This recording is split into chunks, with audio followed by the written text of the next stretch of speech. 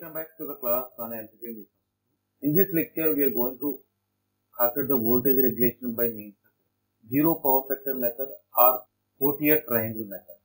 This is a circuit diagram to find the voltage regulation of alternator. This is stator winding, this is the field winding. Three terminals are connected to the TPST switch. Through the TPST switch, inductive load is connected.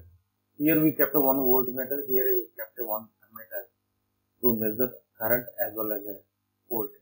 For the field winding, you have to apply the regulated DC voltage through the variable rheostat to the switch. Here we kept a one ammeter to measure how much current is passes through the field winding. Here we have taken the prime mover as a DC motor. The armature of the DC motor is connected to the rotor of alternator, mechanically coupled. So by means of a motor, we are going to give the mechanical input to the alternator. Now first we are going to see what is the procedure to calculate the voltage regulation alternator by Fourier triangle. So first of all, you have to conduct the OCC test. Nothing but you have to open the DPST switch. You have to open the DPST switch in a field winding and close the DPST switch for the motor. By means of three-point starter, you have to start the motor. By adjusting this speed rheostat, bring the speed of alternator to the rated value. Then you have to close the DPST switch in a field winding of alternator. By varying this po- potential voltmeter, slowly increase the fi- field current and note down the reading of voltmeter. You can take the reading up to the rated voltage of a alternator. You take the reading of 10 readings nearly. This is the table for the open circuit. Now you have to bring the field current slowly to the zero so that this voltage also becomes a zero. You are not disturbing the mechanical input to the alternator. Now close the switch. Nothing but we are applying inductive load across the alternator. Now by changing the field current and changing the load, make the ammeter reading is equal to the rated current of al- alternator and voltmeter reading should be the zero. That is the first reading. The second reading is the again by adjusting the field current and load, ammeter reading is rated value and voltmeter reading also the rated value.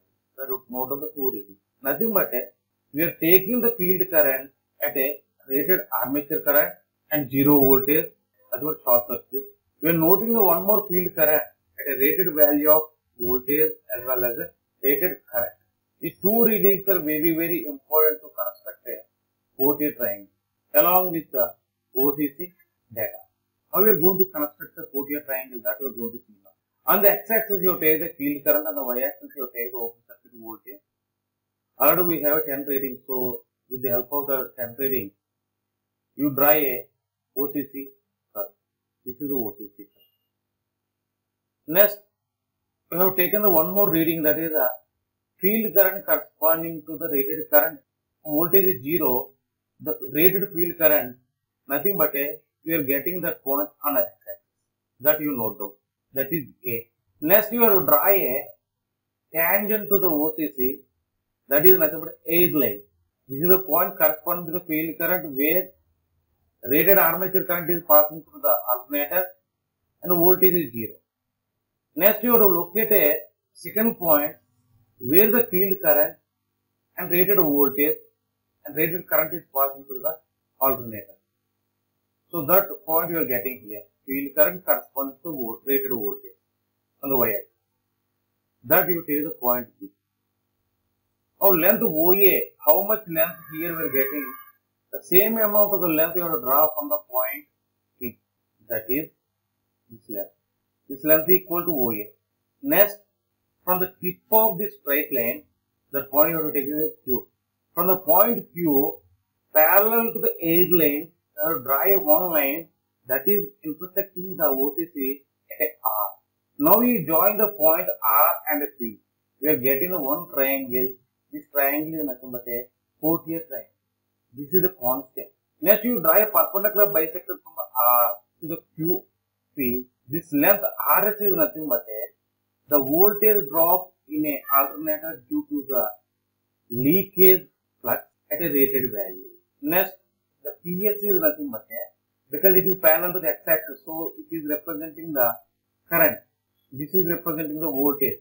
Now the PS is representing the field current required to overcome the demagnetization effect in a alternator.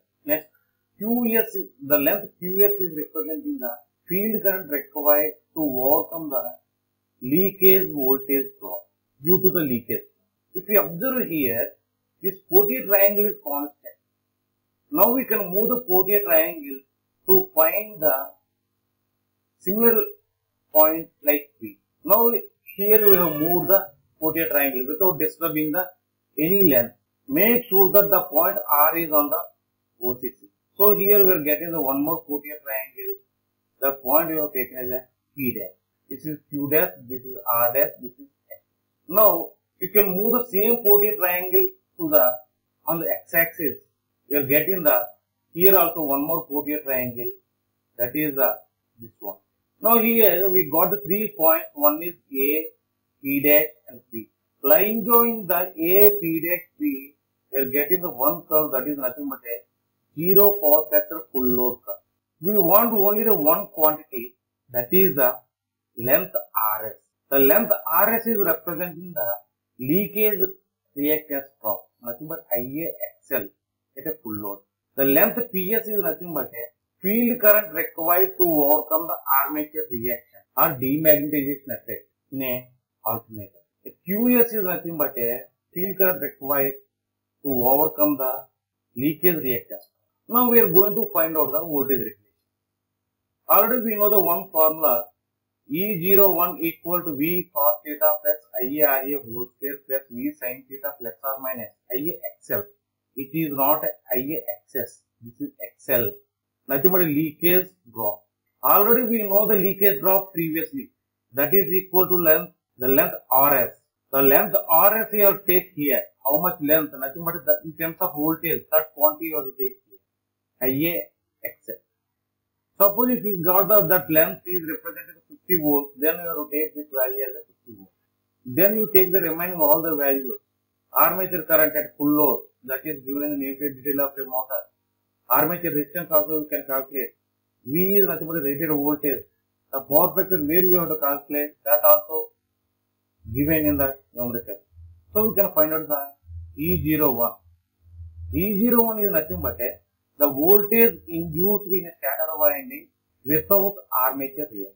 Now here, corresponding this voltage, you have to find out the field current. That field current is nothing but a IF1. So here this is the E01, this is the OCC curve. From the OCC, we are going to find out the, that is IF1. IF1 is nothing but a field current corresponding to open circuit voltage in an alternator excluding the armature reaction. IF2 is nothing but length PS.